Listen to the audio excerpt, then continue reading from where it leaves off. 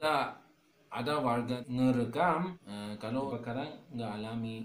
Ya pemerintah eh, ngomongnya itu teroris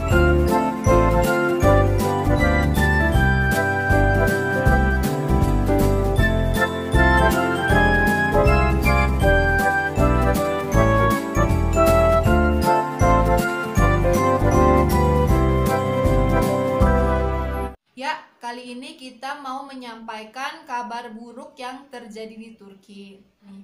Apa sih kabar buruknya? kebakaran hutan Di mana kebakaran hutannya terjadi? menurut Dr. Bekir Pakdemirli dia eh, menteri kehutanan ada 11 11 provinsi yang kebakaran di Adana, Osmaniye, Antalya, Mersin, Muğla, Nah, yang lima provinsi tadi itu titik kebakarannya itu yang paling besar di antara lain. Nah, ini yang titik kebakarannya hanya satu. Itu di mana aja?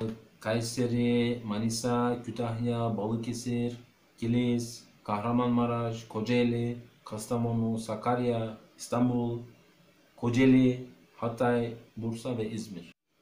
Nah, itu data yang ditweet sama Menteri Kehutanan Turki. Ini data tanggal 28 eh, sampai 29 Juli 2021. Dari Adana ke Manisa eh, kebakarannya lanjut nggak kontrol eh, tapi di yang lain udah udah selesai Siapa sih eh, yang melakukan ini? Apakah itu kebakaran hutan secara alami atau ada orang atau ada oknum yang jahat?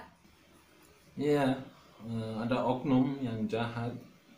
Eh, kayak nggak suka Turki atau gimana mau mau Turki buruk. Nggak tahu kenapa kamu kamu kebakaran hutan.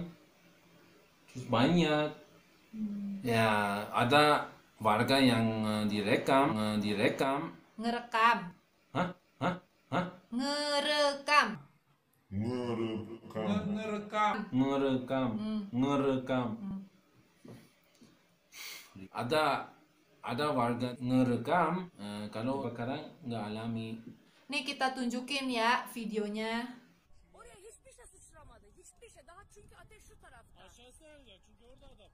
Ya ada ya kan di kanan kebakaran udah kebakaran banyak terus tuh Tiba-tiba, tiba-tiba terus tunggu tunggu eh, ah. Nah tuh, sono baru kebakaran baru api baru. Tuh yang ada tanda panahnya. itu jauh kan? Itu nggak natural nggak natural itu. Iya itu nggak alami. ya oknum jahat di sono sekarang bikin api bikin ya gitu terus, Terus, itu eh, lanjut nah tuh Udah ada lanjut. lagi tuh tanda panahnya ya itu. kayak point point point like di sini di sini di sini di sini point tempat Hmm, tempat api tuh mulai muncul lagi tuh. Hmm.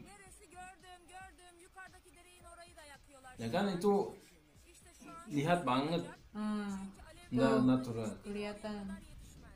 Tiba-tiba asap muncul. Jadi di sebelah kanan tadi yang pertama itu udah banyak. Terus warga ngerekam nih kayaknya ada yang aneh nih. Hmm. Terus nggak lama di tengah-tengah muncul asap. Terus nggak lama tunggu deh tunggu kata yang ngerekam. Hmm. Ntar pasti muncul lagi nih titik kebakaran eh bener aja muncul lagi di sebelah kiri. Jadi eh, video tadi eh, bukti kalau kebakaran hutan yang terjadi itu enggak secara alami tapi dibuat oleh oknum. Tapi oknumnya siapa?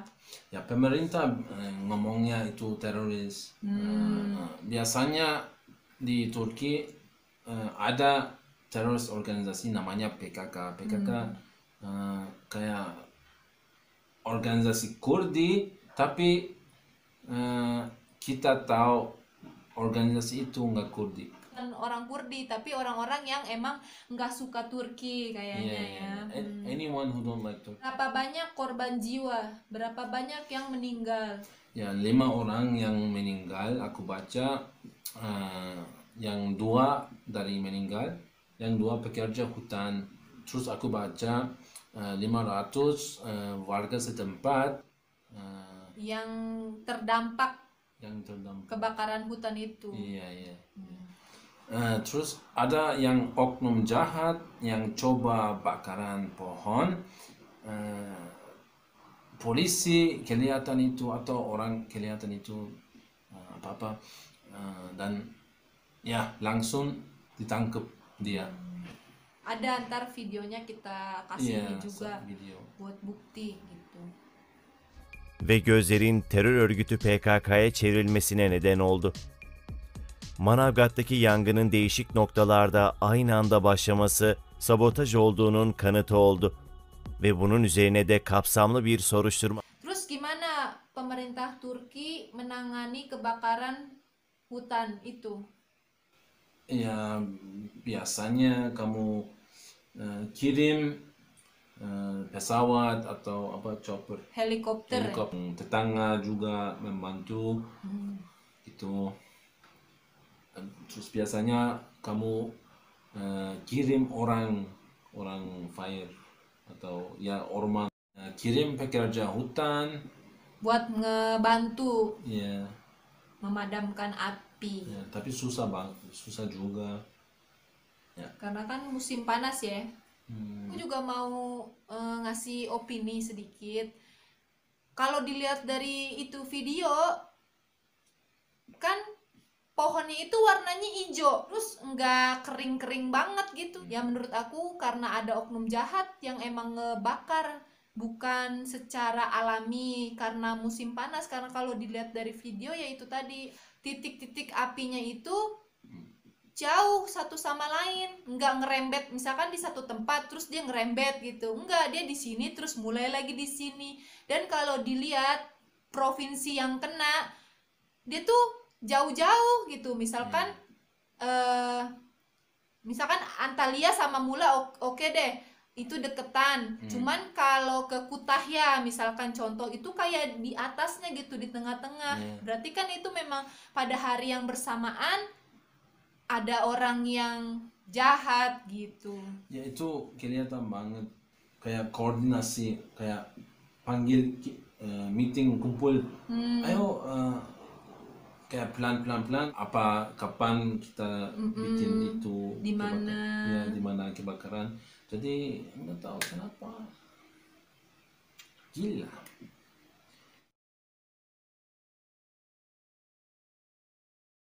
kita mau mengucapkan turut berduka cita untuk kejadian buruk ini dan semoga orang yang terdampak bisa segera pulih dan tabah gitu ya.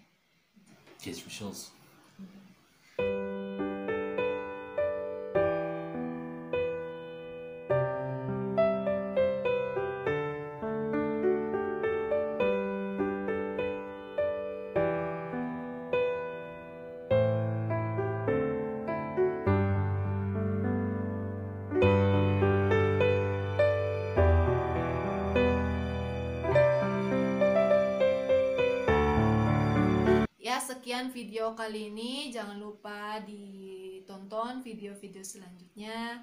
Wassalam.